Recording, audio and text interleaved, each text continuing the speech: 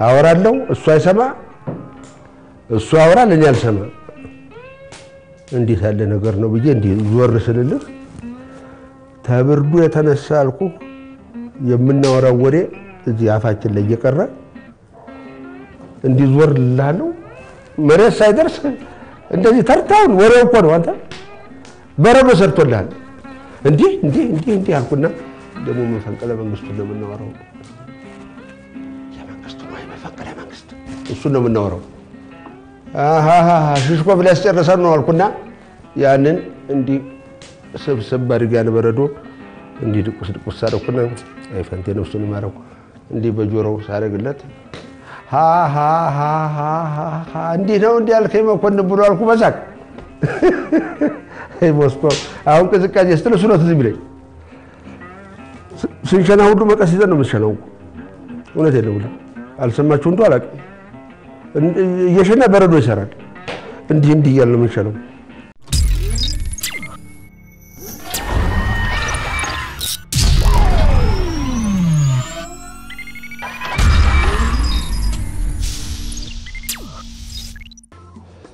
ብዙ ጊዜ ለእንደዚህ አይነት አዲስ ነገር ቸልተኝነት እናበዛለን። ይሄ ነገር አደጋው ምን ያህል የከፋ እንደሆነ የዛ ጊዜ ያስገነዝባል። እኔ እንደውም እግዚአብሔር ይወደናል የምለው። እንዳየሁት እንዳየሁት እግዚአብሔር ይወደናል ነው የምለው። አሁን እያደገ እያደገ እያደገ ነው የሄደው። እንግዲህ እያደገ ከሄደ ደግሞ አሁን ኃላፊነቱ ደግሞ ሞር ሊሰማን ይገባል። ያው ባንመረመርም እርግጡን እያንዳንዳችን ባናቀውም እኔ መያዙን አይደለም የምፈራው፣ ማካፈሌን ሌሎችን ሁሉ ማዳራሴን ነው የምፈራው። ከቤተሰብ ጀምሮ ነው የሚጀመረው ማለት ነው። እንግዲህ ጠቅላይ ነው ጨዋታው። ከዛ የምትሄደው የምትወደው ጋር ነው፣ ጓደኞች ጋር ነው የምትሄደው። የምትወዳቸውን ሁሉ ማዳረስ ነው። ይሄ ነው የሚያስፈራኝ እና አሁንም አልመሸም። በጊዜ ሁላችንም አንዳችን ለአንዳችን እየተሳሰብን ይህን ነገር ማስቆም ይኖርብናል። አለበለዛ ግን ያው ዜናው እንደምንሰማው ነው። በሚሊዮኖች ገብቷል። በሚሊዮኖች ከገባ በሚሊዮኖች እንዳይደርስ የእያንዳንዳችንን ጥረት ይፈልጋል እና አሁን ሁሉም አረ በላው እየተባለ ነው።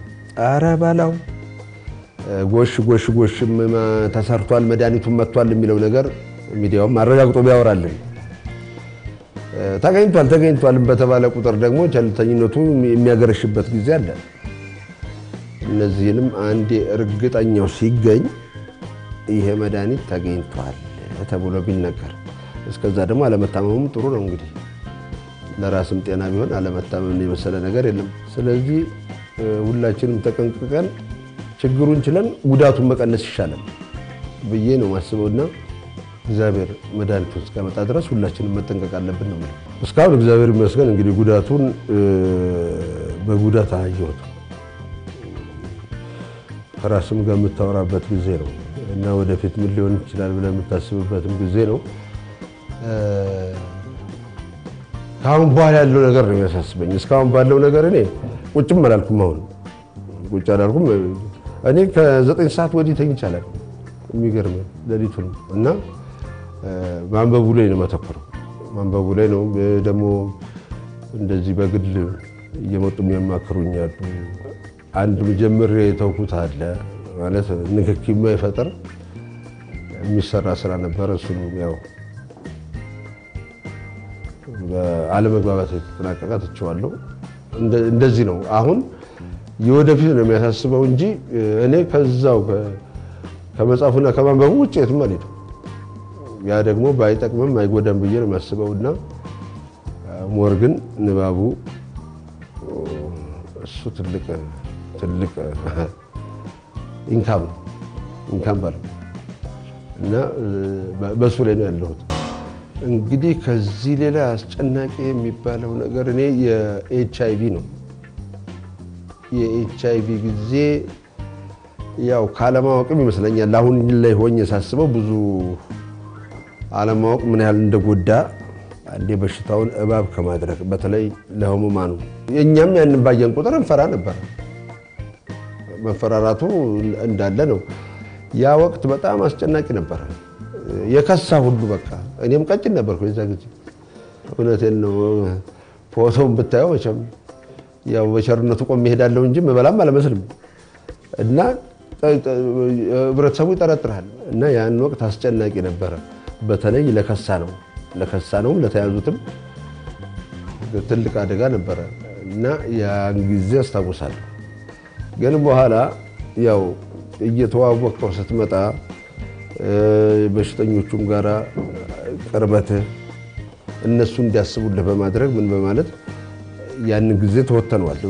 almost ቆሟል ማለት አይደለም አለ አሁንም እንዲያውም ቸል የተባለው ጉዳይ እሱ ይመስለኛል። ለአሁኑ ሶስት አራተኛ ስተን ለዛኛው እንኳን አሁንም ተጠንቀቁ ብለን አንድ አራተኛ የመጮህ ያለብን ይመስለኛል። ምክንያቱም ጠፍቷል የሚል የምስራች አልሰማንም።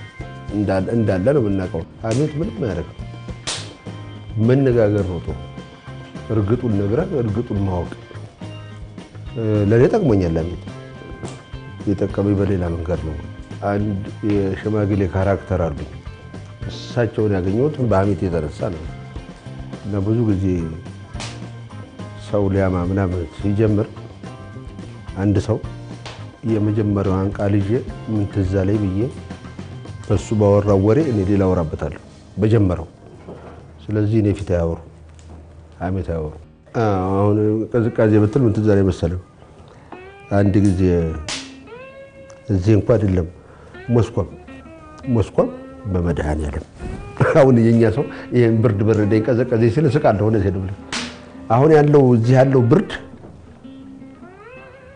ለዛኛው ሀገር ለሞስኮም ዳልወል በለው ዳልወል በለው ይሄን ነው በኃይለሥላሴ ጊዜ ነው አርባ ሁለት ዓመተ ምህረት ነው ሞስኮቭ ሄድ ለእኔና ፈንቴ ነፍሱን ይማረው እውነቱ ቦታ ነው ያለው እሱ ሄድንና ሄዳችሁ ተምራችሁ ኑና እዚህ ደግሞ ታስተምራላችሁ። ሀገሪቷ ያው ድሃ ነች። ከዚህ በላይ ሰው መውሰድ አችልም። የእናንተ እውቀት ግን እዚህ ይዘራል። አደራችሁም በደንብ ተምራችሁ ነው ማለት ከዚህ የሰኔ አቦለት ነው የተነሳ ነው። ሰኔ አቦ ተነሳን። ስንሄድ ስንሄድ ስንሄድ እዛ የዛ ጊዜ ሩቅ ነው ሞስኮቭ። ሰኔ አራት ነው የገባን በአመቱ በአመቱ ገባን።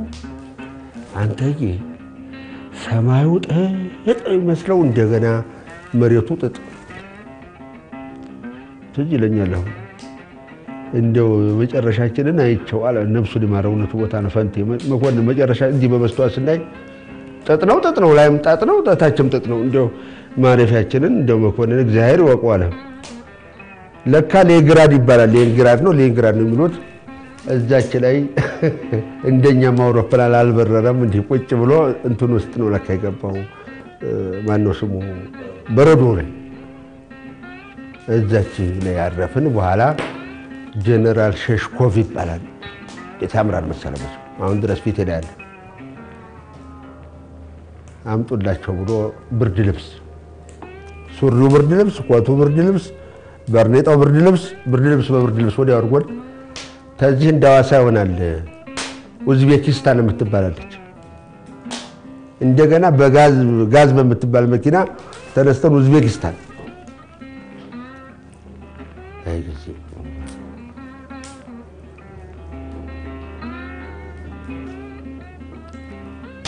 አይ ወይኔ ልጆች አለ አሁን ድረስ ጆሮ ላይ ያለሁት ኡዝቤኪስታን ገባንልህ። በኋላ የቀለም ትምህርት ለሶስት ወር ነው ያሰናዱልን። እኔም ከተፎ እሱም ከተፎ ላጠላጥ አድርገን የስድስት ወሩም በሶስት ወር በኋላ መጣ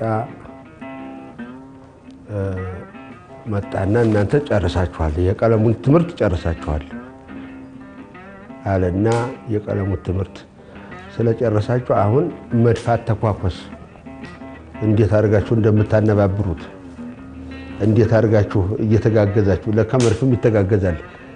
እኛ የጣሊያን ጊዜ አንዱ ጣሊያን ሲፈጀን የቆየው እኔ አሁን ባየውም አውቀዋለሁ። እሱን ጣሊያን በልህ ነው የምማረው እዛ መድፍ። እልህ ደግሞ ሲይዝህ ጥሩ ይገባል፣ ቶሎ ነው የሚገባ። በኋላ ጠዋት ተተማሪ ቤት ወተን ተጦር አካዳሚ ወተን የሁለት ሰዓት መንገድ ነው እንሄድልሃለን። ስንሄድልህ ተተማሪ ቤቱ እኔ አወራለሁ፣ ፈንቴም ያወራል፣ እኔ አልሰማውም፣ እሱ አይሰማም።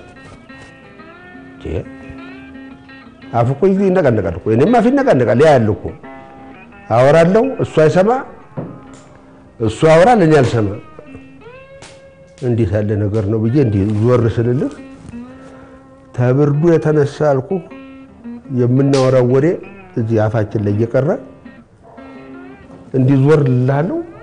መሬት ሳይደርስ እንደዚህ ተርታውን ወሬው እኮ ነው። አንተ በረዶ ሰርቶልሃል። እንዲህ እንዲህ እንዲህ እንዲህ አልኩና ደግሞ መፈንቅለ መንግስቱን ነው የምናወራው።